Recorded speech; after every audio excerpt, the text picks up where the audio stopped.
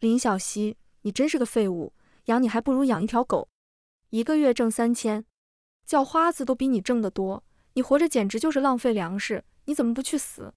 我妈指着我的鼻子骂，她的眼神就像看仇人。以前我有份好工作，是他们砸我的饭碗，他们把老来子扔给我，不带就是不孝，还让调解员劝我养家养地，我根本跑不掉，证件被他们收起来，工资卡在他们手上。那个孩子我从小带着，有感情了，舍不得。后来我才知道，我不是他们亲生的。那个我一手拉扯大的孩子，背着我冷冷说道：“你们能不能让保姆别管我？保姆怎么回事？”越来越不中用了，这个月工资才两千块，他是不是让老板给他现金了？我妈淡淡说道：“他生病了，胃癌晚期，现在没了利用价值，我想把他赶出去，反正又不是我亲生的。”后来我拼死反抗，却被他们拳打脚踢，像垃圾一样扔在外面马路上。再次睁眼，回到大学毕业那天，这次，呵呵，让暴风雨来得更猛烈些吧。林小溪，有人找你。他们说是你父母，前台给我打来电话，我知道该来的还是来了。刚走到门口，我妈就把孩子扔给我，你自己的儿子，你自己带。上辈子我妥协了，然后成了他们带娃工具。这次我带着他们出了公司门，然后摸出手机，喂，幺幺零吗？我要举报我父母，他们是人贩子。我妈急了，她转身对我爸说道：“林爱国，快抢他手机！”我高高举起孩子，别惹我，否则不小心……哦豁！虽然我不是他们亲生的，但这孩子是呀。果然，他们不敢动了，只是小声哔哔。怎么回事？怎么变化这么大？这都是他们逼的。嘿嘿，送上门的人质，我就不客气了。我简单说了情况，再补充了一句：我不是他们亲生的。现在突然来个孩子，他们肯定是用了不正当手段。刚说完这句。他们就急了，李爱国大声吼道：“小贱种，老子养你二十多年，不是亲生的，早就把你弄死了。”小贱种，他的种能这么骂？从高中开始，周末和寒暑假，他们都帮我找好了兼职，嘴上说的是为了我好，提升社会价值，可工资没给我一分。白天上班回来还要煮饭、洗衣、拖地，我不欠他们的，该还的上辈子都还完了。我点点头，对我是小贱种，你是老杂种。林爱国气得想扇我巴掌，我右手提着孩子，左手轻轻捏着他脸颊。你敢打我一巴掌，我就甩他十巴掌。反正呢，又不是我儿子，不打死问题就不大。上辈子我对他那么好，一把屎一把尿拉扯大，他怎么对我的？不能再想，不然我会忍不住掐死他。我妈讪讪地笑着，小溪，你那么善良。怎么会做犯法的事？孩子给我，不让你带了。哦，哪有这种好事？他们想干嘛就干嘛。我耸耸肩，笑得一脸灿烂。都是你们教的好，不然我还坏不来。我轻轻把孩子抛向空中，想要他，摇了摇食指，不行哦。孩子大声哭出来，那对父母惊声尖叫：“你疯了吗？”我早就疯了，支撑我的只有仇恨。我指了指对面角落。你们蹲过去，不然我就打他。他们快气疯了。我妈不停拍着胸口。游戏才开始，这就受不了？我啪的一巴掌拍在奶娃脸上，再哭我就继续打。瞬间哭声停止，小孩子最会看脸色。我妈瘫在地上，抹了一把眼泪，准备干嚎卖惨。啪的一巴掌打在小孩屁股上。你敢叫，我就敢打他。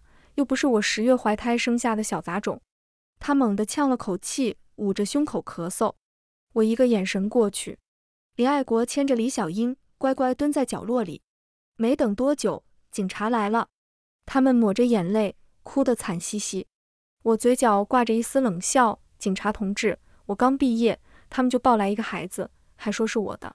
我连男朋友都没有，这孩子不可能是我的。你们赶紧审问一下。”林爱国叹了叹气：“警察同志，这孩子是我老婆生的，今天带过来让他姐看看。没想到，我撇撇嘴，点开录音。早就知道他们是黑心肝，这是最基本的操作。”警察听完，严肃问道：“孩子是谁的？别想撒谎，一查就能出来。”李小英颤颤巍巍举起手：“同志，是我亲生的，你看刀口的伤疤还在。”她边说边掀开衣角，露出鲜红的伤疤。林爱国笑着说道：“都怪这孩子，连个玩笑都开不起。”警察冷冷看着他，当我们是傻子？玩笑有这么开的？你们到底想干嘛？他们对视一眼，我妈哭着说道：“同志，我们老了挣不了钱，孩子我们养不起，想让女儿帮忙养。她年轻，能挣钱，还有精力带娃。”两个警察都听笑了。我拿出手机，打开亲子鉴定书。警察同志。我不是他们亲生的，应该没义务帮他们养孩子吧？而且我怀疑我是他们拐来的，请你们帮我好好审一下。李爱国一巴掌给我扇过来，你再乱说，老子打死你！我快速侧身往警察背后躲去，他的手只打到了一半，不过也够了。我捂着脸，可怜兮兮说道：“警察同志，他们经常虐待我，请你们帮我找到亲生父母。我想问问，为什么把我卖给这么残暴的人？”我边说边挽起袖子，露出伤痕累累的胳膊。警察看向他们，冷冷说道：“走吧，回警局。我给领导打电话，请好假。这次我绝对不会轻易放弃工作。”他们慌了，不断朝我使眼色。我根本不甩他们。然后就看到李小英用力揪小孩，婴儿的哭声立马响了起来。林爱国尴尬说道：“同志，孩子要喝奶睡觉，我们必须得回去。”我嘿嘿笑道：“警察同志，我会带娃，保证不哭不闹。要不把娃给我试试？”那两人吓得一哆嗦，怀里的孩子瞬间止住了哭声。到了警局，那两人刚开始还不想交代，找各种借口推脱。后面警察把娃扔给我，他们就老实了。李爱国小声说道：“我们没有孩子，就用五百块买了一个。警察同志，我们不买他。”他就会被转卖到深山，或者拉去国外卖器官。我们是救他，如果这也要罚，那我们可不认。中国这样的太多了，你们先去把他们都抓了。我撇撇嘴，根本不信他说的话，轻轻把玩着小孩的手。这么可爱的孩子，怎么能说出那么诛心的话呢？是不是断手断脚才会乖呢？我抬头看向他们，警察同志，分开审吧。我在大厅带娃。林爱国一掌拍在桌子上，满脸愤怒。小孩被他吓哭了，我抱着往外走。乖，不哭哦。你爸真坏，连亲生儿子也吓。他们想扑过来，可惜被拦住了。两小时后，他们出来了。原来我是他们去庙会偷偷带走的，一分钱没花。他们结婚三年没有孩子，又不想出钱买，只能想到这个办法。本来他们想偷一个男孩的，可是家长看得紧。根本没机会，林爱国叹气说道：“那个老人闭着眼求孙子，林小溪就站在旁边。我们带走的时候，老人还瞟了一眼，这也算是送给我们的吧。这次他没说谎，所以我生来就是一个不受待见的人。林爱国被拘留了，把责任都揽到他自己身上。我知道，主要是因为孩子。警察说我们会继续追查，有后续的线索再通知你。”可是我不想知道了，一个人多自在。刚出警局，我妈就拦住我，她可怜兮兮说道：“小西，你帮我写个谅解书好不好？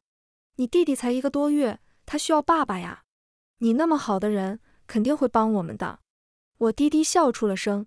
原来他们打的这个主意。李小英，我记得你是小学生文凭，但应该也知道犯错就该受到惩罚，这是天经地义的。你都当妈了，要懂事点。女人被我说的一愣一愣的，我刚想离开，被她拉住了手。李小英砰的一声跪在地上：“小西，求你了，我养了你二十多年，你只要写个谅解书，我保证以后不打扰你的生活。”呜呜！你让我们孤儿寡母怎么活啊？你是想逼死我吗？我站得笔直，也没有侧过身的打算。他这一跪，我受得起。我淡淡说道：“你别来找我了，我永远都不会原谅你们的。”李小英死死瞪着我：“贱人，我们不好过，你休想独自享福。你不写，我天天去你们单位堵门。我说到做到，别逼我死在你们单位门口。”我紧紧握住拳头，指甲划伤了手心，理智占了上风。差点，就差一点，我差点没忍住打死他们。我蹲下身子，用阴冷的声音说道：“李小英，你猜我敢不敢去找你姘头的老婆告状？你猜李爱国要是知道这个孩子不是他的，会做出什么事来？要是手里没点东西，还配重活一世吗？”李小英吓得发抖，她紧紧抱住孩子，颤抖着声音说道：“你，你别想吓唬我，我外面没人，我跟你爸感情好着呢。”我似笑非笑看着他，轻轻挑起他的下巴，然后一巴掌给他扇过去。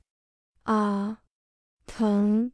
鲜红的巴掌印出现在他脸上，我还是没忍住，手太痒了，先爽一下。嘿嘿，我在公司等你，尽管来事。我转身离开，身后响起李小英愤怒的咆哮：“林小溪，我要杀了你！”哎呦，这就受不了了。那个孩子，我可不想接手。不然他们都得进去几年。林爱国根本没有生育能力，所以才一直没有孩子。上辈子我提前去幼儿园接人，见过一个男人买了一堆玩具送给小孩，当时没有多想，刚刚确定了。第二天上班，我给保安大叔一个红包，只有一个请求，不要放李小英进来。想威胁我？没门！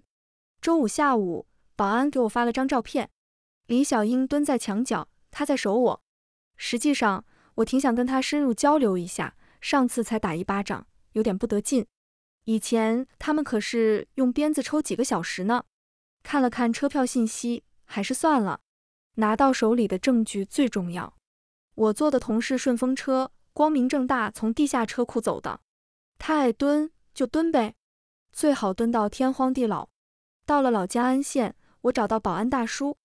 我以前经常挨打。他还安慰过我，我塞给他两包华子，叔，我家猫咪掉了，能不能查下监控？这几天林爱国不在，我赌那个男人会来。果然，我在电梯里看到了他们，举止十分亲昵。过了三个多小时，那人进电梯，按了十八楼的键，很好，原来是同一栋楼的邻居。只要时间把握好，的确很方便。偷偷拍下照片，我的嘴角疯狂上扬。让保安大叔拉我小号进了业主群，一千八百零三号的两个业主静静躺在里面。走的时候，保安大叔看了我几眼，然后给了我一张小纸条。他说：“小孩都长这么大了，有时间再回来看看。”眼睛突然有点酸。寒冷的冬天，只记得他偷偷塞给我两个烤红薯。原来他还记得我。我重重点头：“好的，我会的。”走出小区，打开纸条。看到一个电话号码，我用微信试着添加，出现了一千八百零三号女主人的头像。大叔，他什么都知道。我冷静下来，去数码市场买了三个摄像头。刚刚拍的照片我不会使用，不想给大叔带去可能出现的麻烦。回去开门的时候，他们换了锁芯。看来李小英对我戒备心挺重的。我打电话找了个开锁的，几分钟就打开了，花了五十块。我拿出角落里的全家福，师傅点头离开。我快速安装完摄像头就离开，回到公司宿舍楼。李小英抱着孩子等在门口。我看了看时间，马上十二点，真够坚持的。看到我出现，李小英扯出一个笑容：“小溪，谅解书我不让你写了。你说的对，做错事就该受惩罚。这才几天，转变就这么大。”我冷冷看着他，我有没有说过？让你别来烦我，从公司找到宿舍，你可真厉害。李小英尴尬笑笑，小溪，你爸爸进去了，我实在没办法。我不求你谅解，但小孩是无辜的，你能不能每个月给我一千生活费？我们连奶粉都买不起，真的活不下去了。我的实习工资一个月才一千二，他就想要一千，看来上次的威胁没起作用，肯定是我威胁的还不够狠。他是不是以为？我还是从前的我，我冷笑出声：“李小英养不起别生呀，他不是还有亲爸吗？你让他亲爸养呗，你是不是不敢？要不我报警帮你去找他，让他负责。”李小英黑着脸，她用力揪小孩，小孩哇的一声大哭出来，这又想作妖。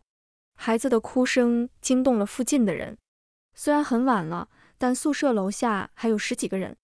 李小英哭着说道：“小溪，不管怎么说，他是你的弟弟，你不能见死不救呀！难道你想饿死我们？”小溪，我们养你二十多年，在你身上花好多好多钱，你就这么狠心吗？妈妈求你了，你就每个月施舍点生活费，好不好？我都五十岁了，真的折腾不起了。四周全是指指点点。李小英穿得破破烂烂，脸上灰扑扑，头上有白头发，怀里还抱着一个哭唧唧的小婴儿，看起来可怜极了。出去要饭应该都没有问题。如果没有上辈子的经历，我可能会接手这个烂摊子。可现在，可惜这一切都是假的。要是他们真的去要饭，多好！我冷冷说道：“我可以帮你报警，也可以喊他亲爸过来负责，甚至能让他亲爸的原配过来收拾你。想试试吗？我是你们教出来的，不是个好东西。”李小英傻眼了，她冷哼一声：“你又想炸我？不管怎么说，你始终是我女儿，这个身份你摆脱不掉。他就是你弟弟，你就该养他。笑死！人贩子养的儿女。”就必须给他养老送终吗？是不是必须认贼作父？我撇撇嘴，我一分钱都不会给。想让我出钱，做梦！我把话放在这，你们的赡养费我也不会出。你最好现在就去法院起诉，我等着强制执行。你最好记清楚，你们是人贩子，是你们对不起我。听到人贩子，四周的人眼神惊恐，他们死死盯着李小怀里的婴儿。李小英这次真的慌了。她瘫在地上，哭得伤心欲绝。你不要污蔑我，是你奶奶不要你，我们好心收留你的。我们是做好事。林小溪，你是非不分，老天爷来个雷劈死他这个白眼狼吧！李小英刚说完，天空中出现一道闪电，周围的人四处逃散。李小英哈哈笑起来。林小溪，老天爷都看不下去了，哈哈！你要是不给我钱，我让他劈死你，哈哈！女人笑得正得意，一道雷劈在她头上，瞬间她的头发炸裂开来，全身乌漆墨黑，怀里的孩子直接晕了过去。我耸耸肩，一脸淡定，毕竟这雷是我让他劈的。重生就这么个小礼物，要不是李小英非要用雷吓我，也不至于劈他。一共就三次机会，劈一次少一次，我很珍惜的。我笑着说道：“看来老天是长眼的，专劈黑心肝。”你最好别再做坏事，不然肯定下地狱。李小英吓得发抖，她恶事可没少做，怕是应该的。四周的人对她指指点点，风向一下子又变了，典型的墙头草。李小英小声说道：“我没有，肯定是老天爷劈错了。”我抬头看向天空，脑子里在想，要不要再用一次机会。我的嘴角挂上一丝残忍的笑，你再说大声一点，看他劈不劈。李小英看了我一眼，再看看天空，她放下狠话：“林小溪，你给我等着。”说完，抱着孩子一瘸一拐离开。肯定是太闲了，我得给他找点事做。第二天，我主动找领导说清楚情况。等他来找我，还不如我主动交代。我没装惨，一脸坚定，并且保证不会影响工作。领导很满意。我知道他喜欢自强不息的女孩，上辈子他劝过我。对我特别失望，这次我必须做好。他拍拍我的肩膀：“你是我们单位的人，谁也不能欺负你。这个世界好人还是挺多的，只是我运气不好，遇到了几个垃圾。”我深深地鞠了一躬，谢谢领导。此后再也没有在单位听到议论我的闲言碎语。但我不允许李小英再跑到公司闹事。过了两天，我从监控看到他们鬼混的画面。我把视频发给陈小丽，再发了个具体地址。没过几分钟，陈小丽出现在摄像头里。李小英被压在地上，拳头不停砸在她身上，那个老男人腿都吓软了。陈小丽冷冷说道：“敢碰老娘的人，你是不想活了？做什么不好，非要做小三，真是贱人！死男人，居然找这么丑的女人来恶心我！”李小英的姘头站在旁边，架都不敢拉，一脸怂样。哇呜！婴儿的啼哭声唤醒了众人。李小英猛地翻过身，把陈小丽压在地上。你们早就没了感情，我跟他是真爱。要不是看你娘家有钱，他早就跟你离婚了。不会下蛋的母鸡就该去死。陈小丽，你啥也不是，绿你又怎么了？李小英说的理直气壮，整个人都处于疯癫状态。陈小丽冷冷看向男人，她简直不敢相信自己的耳朵。李伟抹了一把冷汗，快速去拉扯李小英。他努力扯出一丝笑容：“小丽，你别听他说，我最爱的是你，跟他没什么的。我保证以后再也不联系他，我们好好过日子，你信我，好不好？”陈小丽站了起来，他啪啪啪几巴掌扇在男人脸上：“李伟，你他妈还是个男人吗？敢做不敢当的垃圾！什么叫不会下蛋的母鸡？你他妈都快当爷爷了！行，我让他们以后不管你是死是活，听天由命。”房间里的孩子是你的野种吧？哈哈，你们真该死！陈小丽一脚踢在男人下身，啊！惨叫声传遍了整个小区。李伟苍白着脸蹲在地上，我隔着屏幕都觉得疼。陈小丽冷冷说道：“两个贱人，你们给老娘等着！”她转身潇洒离去。看她的眼神，李小英还要糟。等李伟缓过劲来，他一脚踢在李小英的腹部。贱人，跟你玩玩而已，你还当真了？就你这样，还想跟我一辈子？你是不是啥？要是我离婚了，嘿嘿，你就等着吧。他蹲下身子，掐住他的下巴，是不是你告诉他的？就这么想上位？李小英傻傻的看着他，然后大声哭了出来。不是我，我没有。你不是说最爱我了吗？我都给你生儿子了，凭什么这么对我？你骗我啊！啊！你怎么能骗我呢？我只有你了，伟哥，求你看在孩子的面上，跟我一起好不好？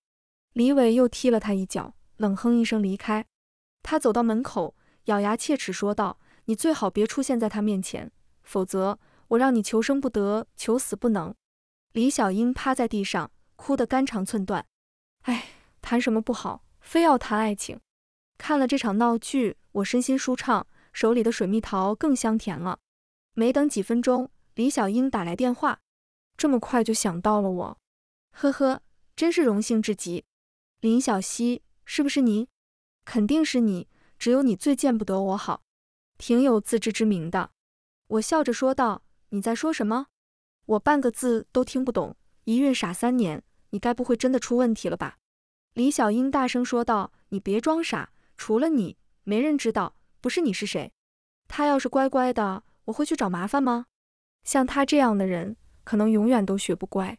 我微微勾起嘴角，是你偷别人小孩的事，还是你偷人的事？亦或是你说别人坏话？你做了那么多坏事，不说个具体的，我很难回答。李小英气得跳脚，身边的小孩又被她吓哭了。她拿起桌上的杯子砸在地上。林小溪。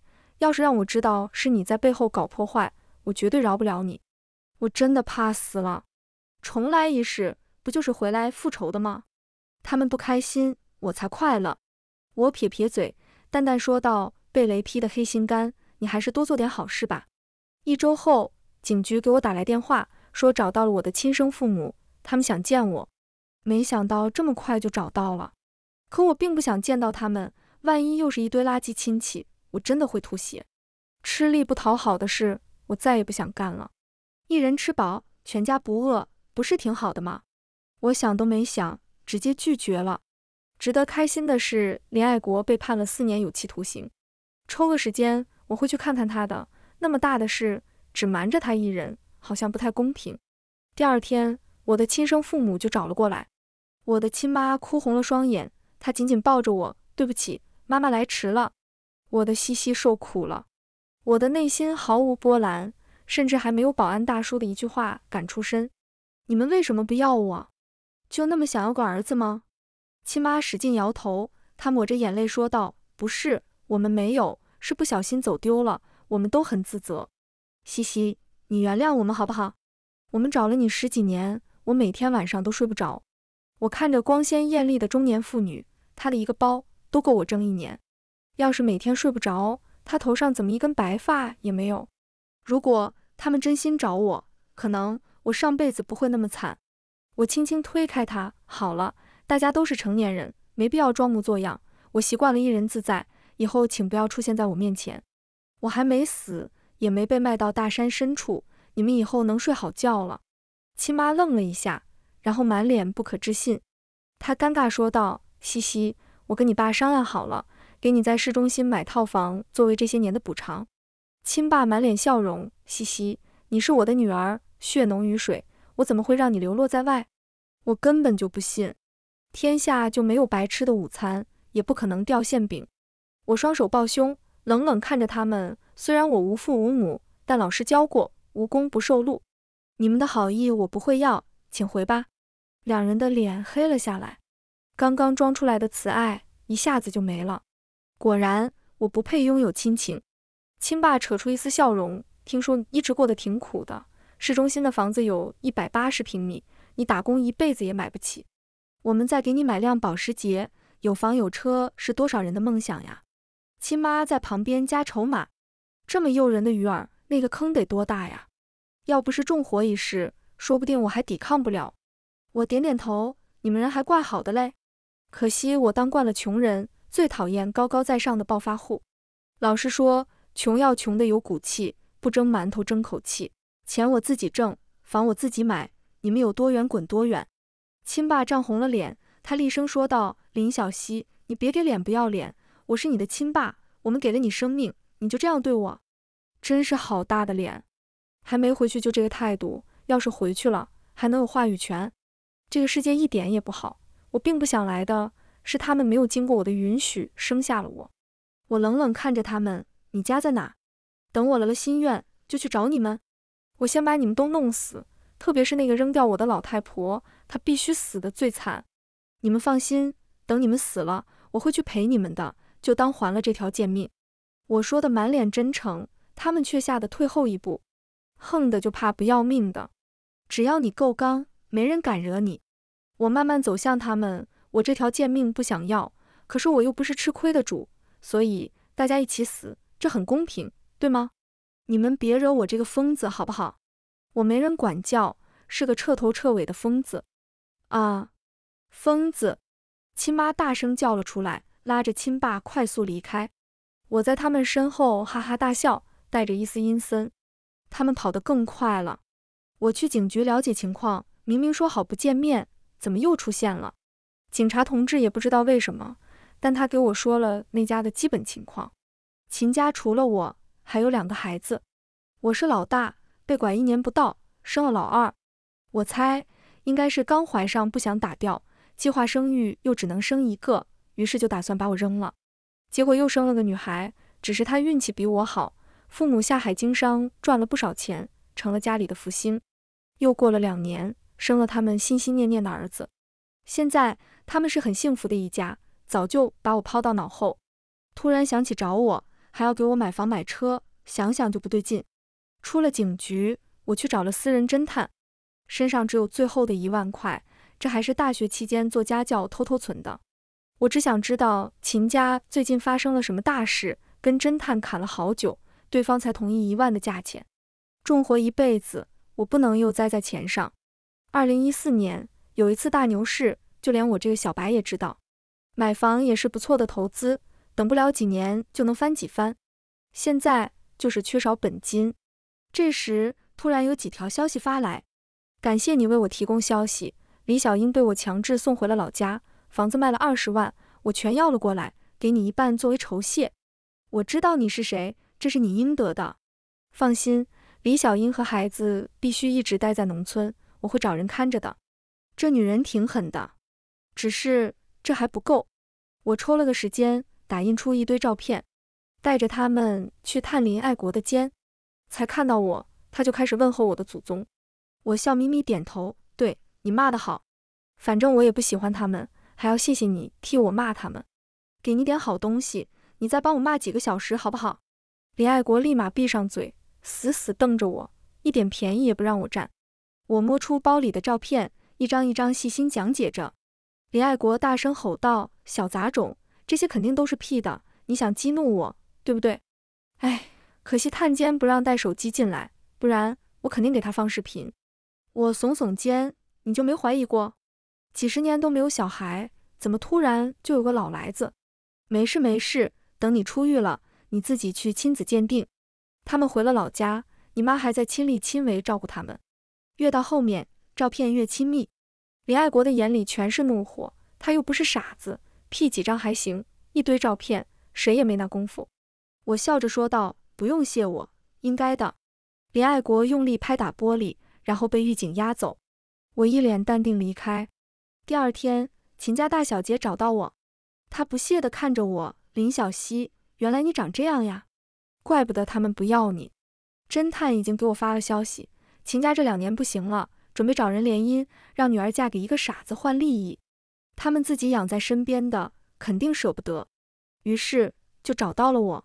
农村出来的姑娘，哄骗两下就能乖乖听话，那房子车子只是诱饵，根本不会给我的。他们只想空手套白狼。去他妈的！我冷冷看着他，你谁呀？是不是有病？他颤抖着手。愤怒看着我，果然是农村出来的，一点礼貌也没有。我爸说了，你要是再不听话，就别工作了。真厉害，小小的秦家能一手遮天。我似笑非笑看着他，怎么听话？替你嫁给傻子吗？你们真当我傻吗？我是共产主义的接班人，会怕你们？从古至今，工农是商，你们商人算什么？农民不种地，你们就喝西北风吧。他扬起手想扇我巴掌，我轻轻挡住。没干过粗活的大小姐还想打人，我轻轻拍在他脸上，乖，别出来丢人现眼。秦家人真的好烦，大家互不打扰多好。我得想一个永绝后患的方案。没过多久，又来了个小屁孩，是亲妈的宝贝儿子。我刚想骂人，他递过来一张卡，姐姐，这是我存的零花钱，你快跑吧。我偷听到他们的谈话。那个傻子有狂暴症，已经打死了两个人了。你一定不要回去。没想到他会来找我，这是歹竹出好笋。你干嘛这样看着我？我说的都是真的。男孩稍稍退后一步，警惕地看着我。我笑着问他：“你爸妈要是知道你坏了他们好事，会不会打死你？”小孩一脸傲气：“放心，他们不会的。我是秦家唯一的男孩，他们舍不得。你快跑吧。”他们说绑也要把你绑过去。男孩把卡塞进我手里，记住密码六个八，就几百，你拿着用吧。第一次有人给我钱，虽然才几百，我乖乖点头，谢谢啊。等他离开，我去查了一下，整整三百万躺在账户里，这就是他说的几百。我把大多数钱都投进股市，以后再连本带息还给他。两天后，单位让我回家休息一段时间。才到租的房子，秦家一群人都来了。秦老太婆站在最前面，就是她把我扔在庙会，现在还想把我绑给傻子，真是好样的。小屁孩在最后面不断朝我使眼色，眼里全是担忧，还有一丝恨铁不成钢的无奈。我满脸笑容，你们这是要干嘛呢？老太婆双手叉腰，小贱人，敬酒不吃吃罚酒，非要我亲自来接你。亲妈拉着她婆婆，她柔声说道：“妈，西西肯定愿意跟我们回去的，你别吓她。”她转头露出一丝慈母笑：“西西，你说对吧？对个屁！”我直接朝她翻白眼：“你们是不是有病？你说我是你女儿就是你女儿，我还说我是你们祖宗呢。你们再这样，我就报警，带着一群人私闯民宅抢人，这可是重罪。”亲爸一脸不屑，他笑着说道：“警察都得看我们秦家脸色。”你的工作还不是我一句话的事，嘿嘿，我等的就是这句话，就怕他不说。我愤恨盯着他，不可能，你们秦家算什么？凭什么有这么大的话语权？老太婆冷哼一声，你不知道的多了去了，没听过有钱能使鬼推磨吗？只要你乖乖嫁给王家傻子，这辈子都能吃香喝辣。亲妈连连点头，也就看你是我女儿，不然这种好事轮得到你？真是谢谢她了。我指了指秦家大小姐，这种好事还是给她吧。农村姑娘配不上王家傻子。亲妈一巴掌扇了过来，我站着没动，硬接下来。我拿出手机报警，秦家人一脸无所谓，根本不担心有什么问题。他们背后的靠山还挺大的。我把刚才录的视频发了一份给侦探，让他帮我报省分局，顺便用他的账号发到网上。打开软件，我开了直播。小巧的摄像头挂在我脖子上，狠狠心，我买了五千流量，还好在股市赚了一笔，这些都是渣渣。没过多久，浩浩荡荡来了一群警察，亲爸笑着跟他们打招呼，看起来经常打交道。我努力说着报警原因和诉求，然后他们把我铐上了。林小溪，跟我们走一趟。还没出小区，侦探带着警察来了。秦家人慌了，老太婆坐在地上干嚎：“来人呀！救命呀！警察乱抓人啦！你们会遭报应的。我们秦家人做的端行的正。”我掐指一算，还有两次召唤天雷的机会，我必须送他一次。在老太婆再次骂老天不公的时候，天雷直直朝她劈去。轰隆一声，他躺在了地上，本来就不多的头发瞬间烧了精光。可惜一道雷只能劈一个人，不然我把秦家都劈了。我摇摇头，拍手叫好，果然老天爷长眼了，专劈坏心肝的人。秦家的人再也不敢避避，乖乖进了警局。警察告诉我，他们正在调查这群人。我报得非常及时。我得到了表彰，回到单位还往上升了一级。半年后，亲爸进了监狱，被判了十五年有期徒刑，所有财产都没收了。老太婆被那道雷劈成半身瘫痪。亲妈想跑，我怎么可能让她潇洒？白天去饭店洗碗，晚上跟老太婆一起睡。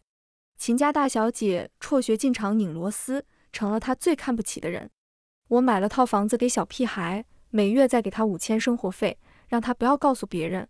小屁孩精得很，他说：“姐姐放心，他们现在看我脸色生活，我会好好教育他们的，以后他们绝对不会来打扰你。”三年后，林爱国出狱了，他回老家把李小英狂揍一顿，然后抱着孩子去做亲子鉴定，果然孩子不是他的。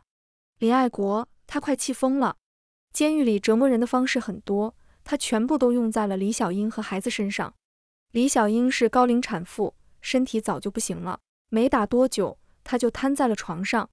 看着满身伤痕的孩子，她半夜用铁棍打死了林爱国。李小英抱着孩子来求我，让我帮她养儿子。她说：“西西，我知道是你告诉林爱国的，你想让我们死，我可以成全你，但求你收留他好不好？怎么可能？上辈子对他那么好，都背后插刀，这辈子收留他，我别想睡一个安稳觉。”我报了警，把孩子送去了福利院。李小英气疯了，躺在地上口吐白沫，还没来得及进监狱，他就死了。那个孩子被送进了深山，这辈子都见不着。